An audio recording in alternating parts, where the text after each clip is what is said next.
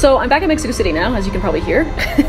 um, but I wanted to make a quick video uh, answering a question that a few of you have asked since I started my Sayulita series, and that is what the COVID situation there is like, what the protocols that are being taken are.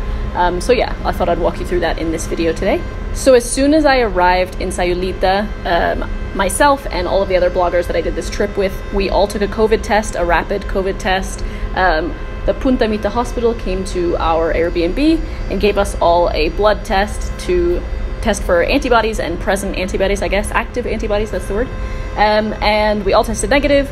So that's how we started the trip to make sure that we would be all be happy traveling together um, and also that we weren't bringing the virus into Nayarit.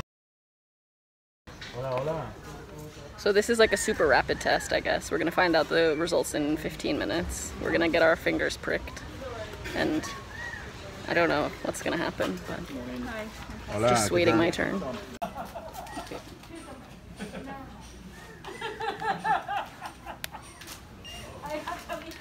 I actually think uh, that would be more funny because you just show up like, I don't speak, I don't speak English. Muy bien, adelante.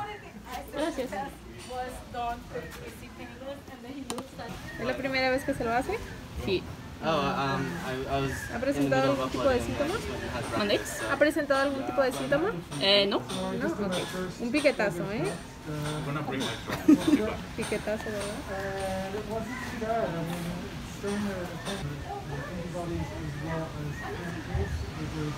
Apretamos aquí.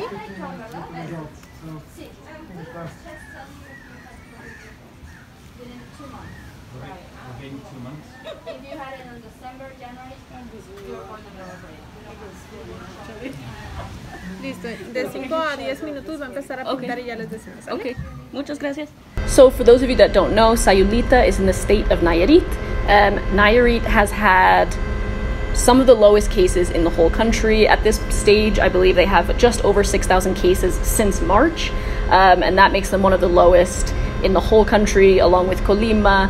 Um, so, yeah, it's it's a relatively low risk place to travel, but of course, you also have to consider the fact that you don't want to bring the virus uh, to Nayarit when it has such low number of cases.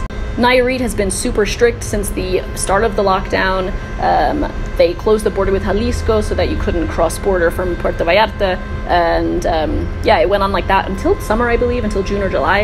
Uh, but now everything is back open.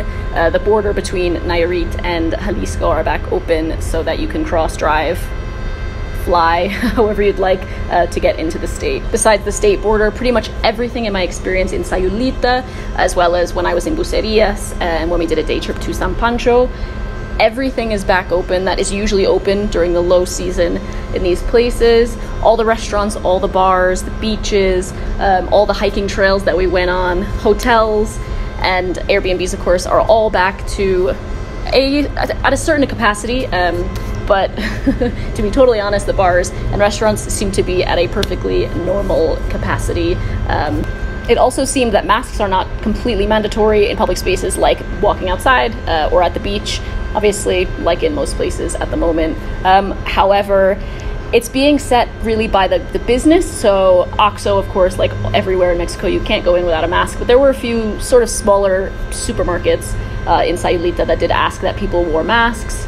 Uh, whether or not that's being enforced is another thing. However, when we went to restaurants and bars, pretty much all the staff are wearing masks. All of the staff are wearing um, goggles in some places, or like a, a sort of face shield that covers their mouth and their nose. Um, so yeah, the the protocols are being ticked where necessary, um, and you can still go into all these places. But we tried to take precautions where we could as visitors. Um, obviously, we all tested negative, but we still didn't want to get the virus. So we made sure we went to restaurants and, and bars and stuff that we sat outside when we could. Um, and if a place was crowded, we either didn't go in or we made sure to sit sort of outside, well, outside if possible. And if not outside, then there's a part of restaurants pretty much ever in Sayulita that is pretty much outside.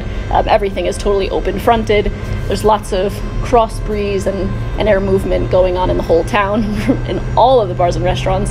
There's basically no front door, so um, so yeah, you are getting a lot of air movement across across places when you're when you're sitting inside.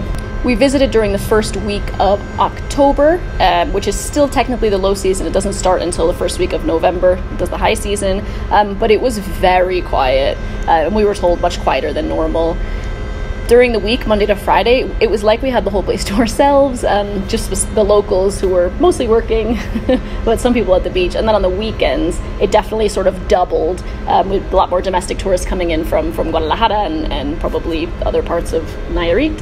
Um, but it was still not that busy. Uh, we still felt, felt like it was easy enough to socially distance where, where we needed to. And uh, yeah, it, it didn't feel totally overcrowded. My honest opinion is if you're not comfortable traveling at the moment, absolutely do not. I'm not promoting travel, I'm not advocating travel, um, especially to places where there is only one COVID hospital in the entire state. Um, but a lot of you ask these questions, and I wanted to be completely honest with you about what it's looking like there. Um, if you're concerned about being in a place where people aren't wearing masks or perhaps not socially distancing, um, then this probably isn't the place for you right now.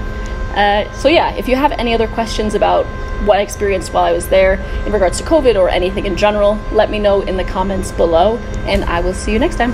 Bye.